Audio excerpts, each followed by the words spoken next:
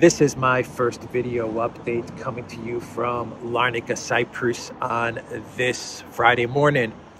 Let's talk about some news. And let's start things off with what is going on in the United States. A quick update with the vote for Speaker of the House, Kevin McCarthy. He has uh, tried 11 times now to be voted Speaker of the House, and he has failed all those 11 times.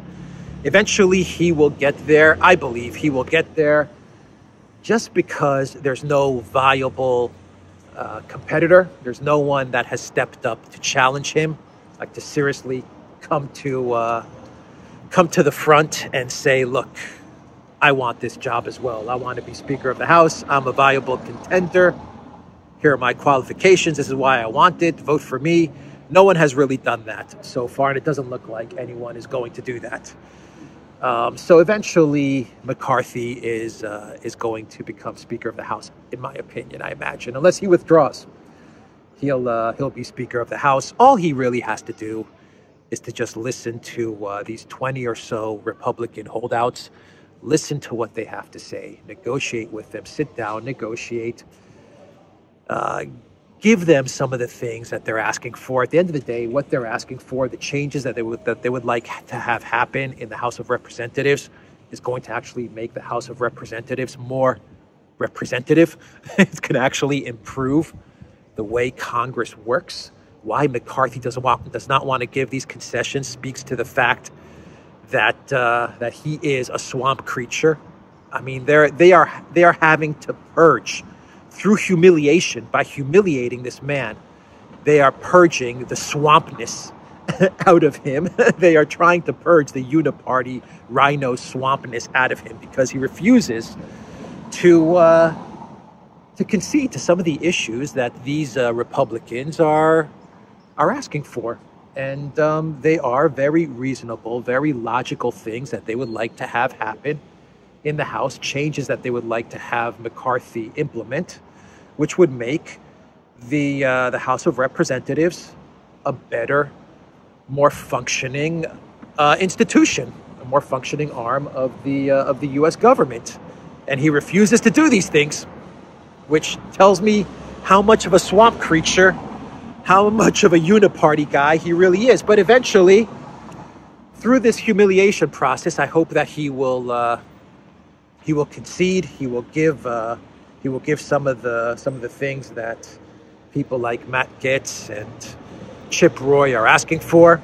He will give them some of those things, and hopefully, he becomes a better uh, speaker, a better eventual speaker of the House, and the House of Representatives becomes a, a better um, chamber hopefully that is that is what's going to happen. The fact that this is taking a couple of days is not a big deal. You know, you're looking to become the third most powerful person in the US government, so it should take a couple of days. In my opinion, it should take a couple of weeks. This shouldn't be a, a coronation. This shouldn't be a birthright. This should be a hard process. This should be difficult. To become Speaker of the House should be a super difficult thing. And there should be a lot of pushback and a lot of negotiations and a lot of give and take. You are, you are trying to become the third most powerful person in the United States. This should not be an easy process, and it should be a humiliating and humbling process. That's what's going to make the House better. That's what's going to make the House more representative. And that's what's going to make the Speaker a better Speaker. So, anyway, with that said, let's uh, let's take a walk through the through the city of Larnaca. You can see the, the Christmas tree right there. New apartments being built. Wow, these apartments, they've won the European Property Awards. Not bad. Not bad. Anyway, um, since we have a Christmas tree right in back of us, tomorrow is uh, Christmas for uh, for Russian Orthodox, for Serbian Orthodox, I believe for um, what else? Uh, Ethiopia is Ethiopian uh, Orthodox. Are they celebrating on the seventh as well? I'm not sure, but uh, definitely Russian and Serbian is celebrating Christmas tomorrow, and uh, Patriarch Kirill for the uh, for the Russian Orthodox Church. He said that uh, it would be good to have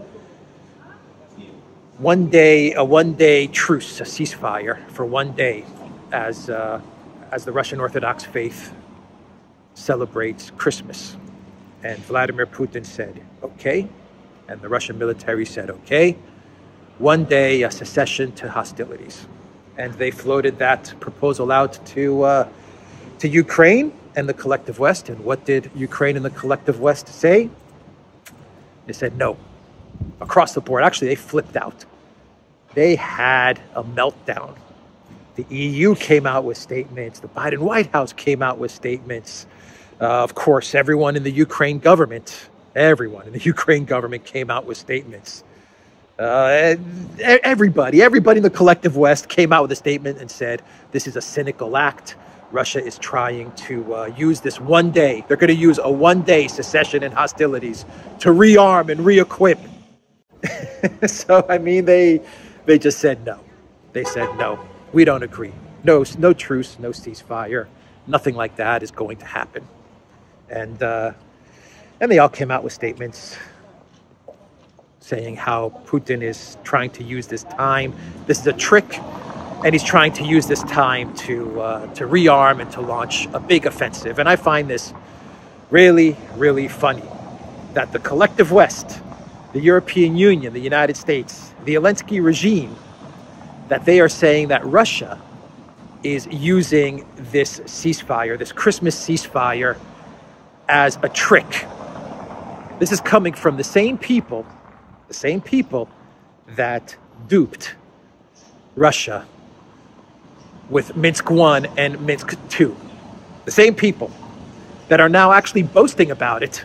They're boasting about the fact that they lied with regards to Minsk 1 and Minsk 2.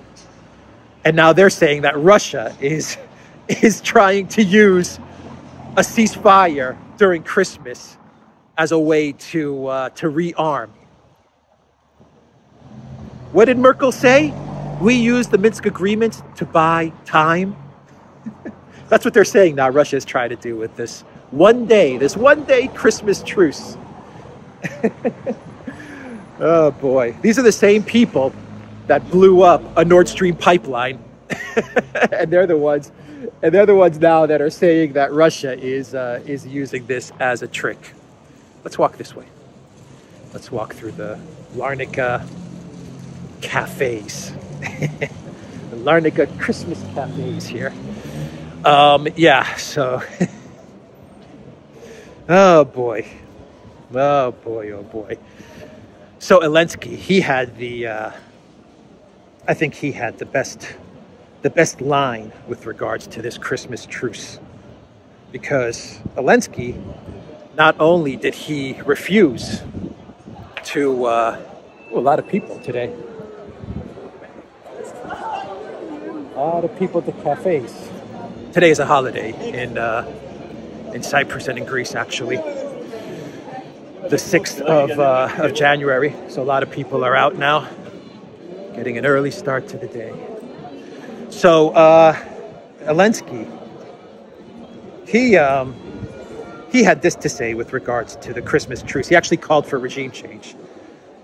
That's the one thing that he called for. He said, uh, this is a cynical act from Putin. He's using this to rearm. He's going to use this one Christmas Christmas Day truce as cover to rearm, and then he called for regime change. Let's see here. In a video message to Ukrainians, Zelensky, Biden calls him Zelensky, but we'll call him Zelensky. Zelensky said in a video message that he had offered a peace plan to Moscow in December starting with the withdrawal of all Russian troops from territories claimed by Kiev on Christmas. Quote, now they want to use Christmas as cover to stop the advance of our boys in, in Donbass for a bit and bring up their equipment, ammunition, and mobilize troops to the front, Zelensky said, claiming this will only result in more Russian casualties. I have to stop here. What is he talking about? our Ukrainian advance. What is he talking about? Ukrainian advances. All right. Uh, everyone in the world knows how the Kremlin uses ceasefires to continue the war with renewed vigor, Zelensky said in the video message. What is needed for the conflict to end, he argued, is to overthrow President Putin.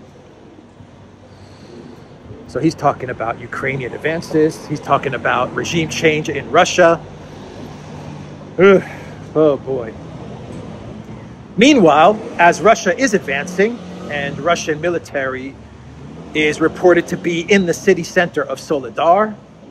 Collective West Media is now confirming that Russia is advancing in uh, in Bakhmut as well. They are actually admitting to this.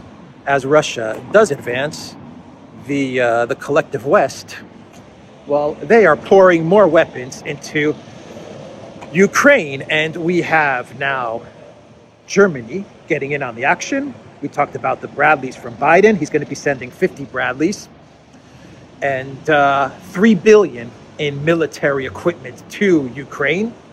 This is actually one of the biggest uh, tranches of uh, military aid that Ukraine has gotten since the beginning of the conflict. 3 billion in weapons. That is what Biden is going to commit to. 50 Bradleys. Macron is is sending light tanks or as Brian Berletic at the New Atlas describes them, vehicles with wheels, which is just a great way to, to, to look at these, uh, these light tanks that Macron is, is uh, sending to Ukraine. Actually, they've already, they've already arrived. I've seen photos of these, uh, these vehicles with wheels, these tanks with wheels arriving in, uh, in Kiev, in Ukraine already. So that was quick. And um, we have Germany now. Germany is going to be sending, well, actually, they're considering sending Leopard, Leopard heavy tanks, which is interesting. Scholz had a phone call with, uh, with Biden, and after that phone call, he decided that it's time for Germany now to send weapons. And remember, Germany's excuse was always, we're not going to be the first one to send tanks. So then Macron sent what he calls light tanks, and now Germany is able to send uh, Leopard Leopard tanks to uh, to Ukraine. So that is what uh, Germany is looking to do. They are going to be sending Leopard tanks to uh, to Zelensky. And what else is Germany going to uh, to be sending? I don't know. These Leopard tanks going to make any difference? These Leopard 2 tanks, heavy tanks. Marder, Marder BMPs as well, and, and a Patriot air defense battery. So Biden calls Scholz. He says Macron is going to uh, send light tanks. So now, Scholz, you're going to have to send tanks. And Scholz said, okay, okay. if Macron is going to send light tanks, I'll send some Leopard 2s and a Patriot defense system. Biden, by the way, was giving a speech and uh, the other day, and he said that the Patriot systems they are working, and the Russians are starting to realize it. They function well and help a lot. I don't think like a Patriot system has arrived yet in uh, Ukraine, has it? I don't think it has. I think actually we're far off from a Patriot system arriving in Ukraine, but Biden's like, yeah, the, the Patriot systems are working well. oh, Bidenopolis. Bidenopolis. Greece's favorite son. He has no idea what's going on, does he? So yeah, Germany is going to be sending all kinds of stuff to Ukraine now as well. Didn't uh, didn't the analysts tell us just like a month ago? Weren't they saying that uh, Ukraine has has captured so many Russian tanks over this conflict? In the 10, 10, in the 10 months of this conflict, Ukraine now has more tanks than what it started off with. Wasn't that the narrative that we were getting from all of the super smart analysts. Just two weeks ago, I was watching a video of some guy who also has kind of like a walking in in nature kind of uh, geopolitical analysis show. And he was talking about how uh, Ukraine is going to easily win this conflict. Come May, Ukraine is going to crush the Russian military because Ukraine now has more tanks than when it started this, uh, this conflict because they've captured thousands and thousands of Russian tanks and equipment.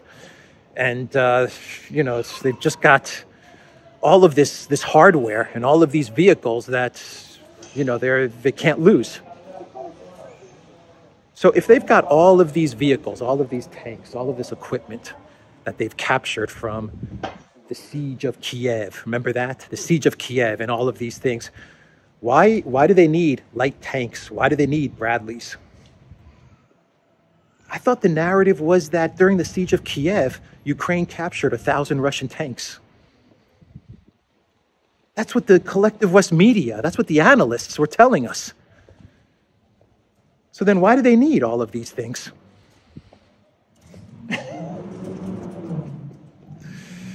Ah, could it be that Russia has destroyed all of Ukraine's tanks? Could it be that Ukraine really didn't capture all of those tanks? Could it be that there was really no siege of Kiev? Could it be that these were all lies and propaganda, like when Zelensky gets on uh, on TV and gives a video message and says that uh, Ukraine troops are advancing, and that's why Russia wants this Christmas truce. All right, so um, oh boy, oh boy, trying to think if I have any other stories. Yeah, I do. I do have another story here, and then we're going to do two clown worlds. This has been kind of a kind of a jumbled up video. I don't know why. I think I'm distracted a little bit today for some reason. So, um, Lithuania or Latvia? Latvia. Latvia arrested Marat Kasem, the editor in chief for uh, Sputnik in Lithuania, the Sputnik news uh, channel in Lithuania. Actually, let's go down this way. Let's go down the dark alleys. So they arrested Sputnik, which is um, part of part of Russian state media, RT. It's it's kind of the it's the Russian answer to to Reuters. That's the best way to describe Sputnik. It's the Russian answer to Reuters, a news agency that puts out uh, syndicated news like Reuters, and that, that's its purpose. Anyway, um, and they have offices all over the world, right? So this guy, Mr. Kasem, Marat Kasem, I believe he is, I believe he is Latvian, if I'm not mistaken and he was the editor in chief of the Lithuanian, okay, the Lithuanian branch of the Russian Sputnik news agency. Okay, so he's Latvian, and he was the editor in chief of the Lithuanian branch of the news agency. But he was uh, arrested in Latvia. So he went home to Latvia, works in Lithuania, editor in chief of Sputnik, went home to Latvia for the holidays, probably for Christmas, whatever, and he was arrested. He is accused of breaching EU sanctions and has been charged with espionage, Sputnik reports.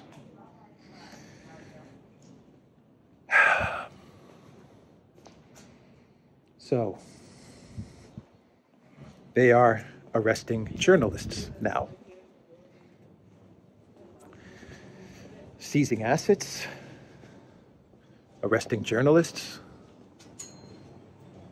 going to take us right to the beach. This is the path that the EU is moving towards. Estonia is seizing assets. Latvia is arresting journalists. Maria Zakharova is demanding his release, of course. She's calling on international organizations to demand his release. Didn't we go through this with Brittany Griner? Didn't we just go through all of this? If we seize, we're going to seize your people, Russia, and you can't do anything about it. So the Russians said, okay, well, if you're going to seize our people, well, we'll seize uh, your people. I mean, we, we've just gone through this. This is not going to end well for uh, for the EU and for Europe. And I have to ask myself: Is Russia is Russia going to retaliate in kind? I mean, is this where we're taking things? You're blowing up pipelines. You're uh, you're seizing assets. You're arresting journalists. This is the collective West. This is the human rights collective West.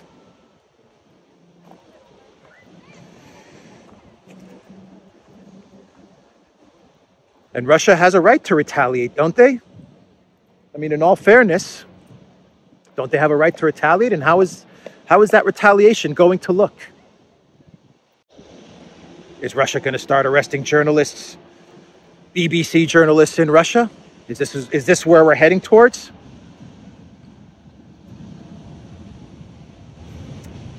My point is that this is where the EU, this is where the collective West is pushing Russia towards. This is what they want to see happen. They want to arrest this guy because they want Russia to retaliate in kind so that then they can come out and say, you see, you see how Putin treats journalists? because no one's going to report on, uh, on this story. No one cares about the Sputnik editor in chief being arrested in Latvia. No one cares about that because he's a Putin troll. He's a Putin spy.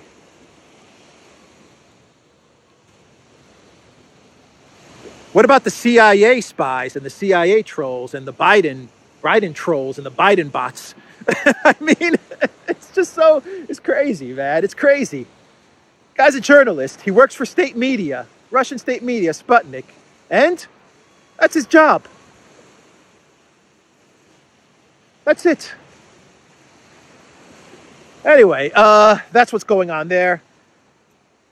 This is uh, this is once again a really, really bad uh, road that the EU has taken. The masks are coming off, and we're seeing the true nature of uh, of the collective West, especially of the European Union. No surprise that this is coming from a Baltic state. Estonia is seizing assets. I talked about that yesterday. Latvia is arresting journalists. The neocons are putting the Baltic states up to this. They're saying, we want you to provoke Russia because we want Russia to retaliate. We want Russia to retaliate because then we can demonize Putin some more. No one's going to no one's going to talk about Estonia seizing assets. No one's going to talk about the European Union arresting journalists. No one talks about Assange. No one talks about Assange in the collective West. Poking the bear. Anyway, let's do two uh, two clown worlds. The first clown world has to do with CNN, since we're talking about journalists. Adam Kinzinger, the guy that actually believed the ghost of Kiev the, uh, the Republican in name only that sat on the January 6th committee and, uh, and absolutely hates Trump, despises Trump. This guy is now going to be a CNN analyst, a CNN contributor. Big surprise. So he didn't even bother running again for his uh, seat in Congress because he knew he was going to get pummeled. He was going to lose. And uh, so CNN has given him a job now as an analyst. You see how that works? He's been rewarded. What have I been saying on this channel for, for a long time now? You either get a book deal or you become, uh, you get a show on CNN or MSNBC, you, you become a contributor, whatever it is. You're going to get rewarded for, for doing what you did for the deep state. And Kinzinger, you know, he he threw away his whole congressional career in order to uh, to prop up the the deep state narrative. He goes super hard on Ukraine, like super hard. He totally bought into the ghost of Kiev. That just shows you this guy's intelligence. So he bought into the ghost of Kiev big time. He uh, He's all about sending as many billions as uh, as the U.S. has to Ukraine. I mean, just whatever whatever the U.S. has, send it to Ukraine. That's his line, and he uh, he did everything he could to go after Trump, and he's getting rewarded now. So you're not going to become a congressman anymore because everybody despises you. Uh, everyone with with a rational, you know, head with a rational mind they despise you, but don't worry about it, Mr. Kinzinger. You're going to uh, to become an analyst on CNN. That is how it works. It's not a book deal. It's something in the media. That's why CNN and MSNBC they don't really need to make profits. They don't really need to make money. They're not there to be profitable businesses. They serve a different purpose. And another clown world is uh, Hillary Clinton Oh boy, Hillary Clinton. Can't get enough of her. She has a new job. She has now been given the title of professor, Professor Hillary. professor Hillary Clinton at Columbia University, New York, where she will instruct students on public affairs and global politics. Oh boy, she is going to be appointed a professor of practice at Columbia School of International and Public Affairs beginning in February. Her work will cover a variety of major initiatives, especially those focusing on global politics and policy and on supporting female leaders, according to Columbia, Columbia University's president, Lee C. Bollinger. Clinton commented on this professor professorship appointment hailing the university for helping to address some of the world's most pressing challenges and for its commitment to educating the next generation of policy leaders. She's thrilled to join the community, she said. Professor Hillary. Yeah, I guess she could teach classes in destroying countries, color revolutions, regime change. Today's lesson, students, is on regime change how you can destroy a country like Libya in a couple of weeks. Assassinate its leader, sodomize him, assassinate him, have it on video, and then go on 60 Minutes or CBS News and say, We came, we saw he died. that is that is what Hillary Clinton can, can teach those young minds in Columbia. God help us. God help us that these uh,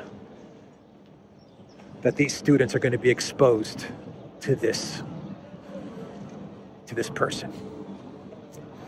All right, that is the video, everybody.